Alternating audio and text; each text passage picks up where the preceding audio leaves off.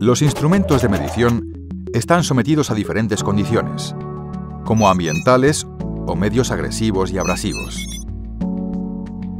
Con el paso del tiempo, los valores de medición pueden verse afectados de forma imperceptible debido a estas condiciones. Si el instrumento pierde exactitud, pueden producirse anomalías en el proceso o incluso graves riesgos de seguridad. Las consecuencias de esto son costes elevados. Por tal motivo, recomendamos, y en muchos casos incluso es obligatorio, un control periódico de los instrumentos de medición, la denominada calibración. Durante una calibración, el instrumento de medición, también llamado instrumento a calibrar, se compara con un patrón de referencia. De esta manera se detectan posibles desviaciones.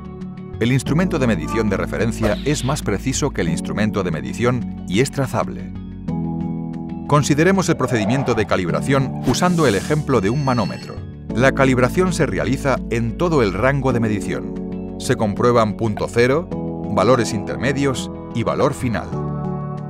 Si la desviación del instrumento a calibrar cumple con las especificaciones del fabricante, se confirma en el certificado de calibración. Si la desviación es excesiva, el instrumento debe corregirse. Este proceso se llama ajuste. Tras el ajuste, el instrumento se puede volver a utilizar. Un caso especial de calibración es la denominada verificación metrológica legal. Aquí, el proceso de calibración está certificado por un organismo estatal. Esta verificación es obligatoria, por ejemplo, por razones de protección al consumidor.